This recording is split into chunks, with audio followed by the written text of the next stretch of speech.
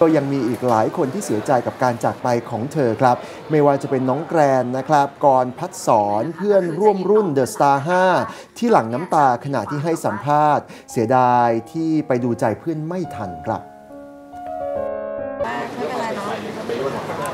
ก็มันตกใจมาก เพราะว่า อย่างที่ทุกๆคนบอกอะค่ะเขาเขามันไม่มีสัญญาณเตือนอะไรเลย แล้วเขาแข็งแรงเขาปกติแล้วแบบ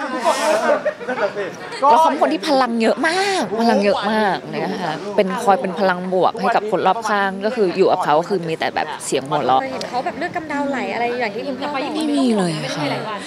คือถ้าในบรรดาเดอะสตาร์ฮะหนูอะดูจะเป็นขี้โลกสุดแล้วอะค่ะน้ำตาลคือเขาดูแข็งแรงมาก แล้วเขาก็คือดูปกติอะค่ะ ไม่ได้มีแบบสัญญาณหรืออะไรใด ๆ เลยค่ะแล้วตอนแรกก็ว่าจะไปไปหาเขาวันพรุ่งนี้ก็คือทุกคนที่ได้รู้จักเขาก็คือรักเขาค่ะ รักเขาแล้วก็อันเนี้ยถามตรงๆว่าเอาของครูออนหมดไหมก็ไม่คิดเหมือนกันเพราะว่าอะ confirm หน่อยทิ้งท้ายแล้วสนุกจริงเขาดูเข้มแข็งเขายิ้มตลอดการเชื่อว่าตลอดเวลาที่เขาแบบ ใช้ชีวิตอยู่เขามีความสุขเต็มที่แล้ว ซึ่งนั่นเป็นการว่านั่นเป็นสิ่งที่โชคดีแล้วค่ะสำหรับมนุษย์คนหนึ่งที่การที่แบบอยู่บนโลก ตลอดเวลาที่อยู่บนโลกแล้วคือแบบ เออมีความสุข ตอนแรกว่าจะพรุ่งนี้ค่ะ แต่ว่าน่าจะต้องวันนี้นะคะและอีกหนึ่งคนที่เคยร่วมงานกับน้ำตาล ในฐานะเป็นผู้จัดละครเรื่องพ่อปลาไหลที่น้ำตาลร่วมแสดง นั่นก็คือฟิล์มรัฐภูมิค่ะ ซึ่งฟิล์มเผยว่าตอนทราบข่าวก็รู้สึกช็อกและตกใจมากค่ะ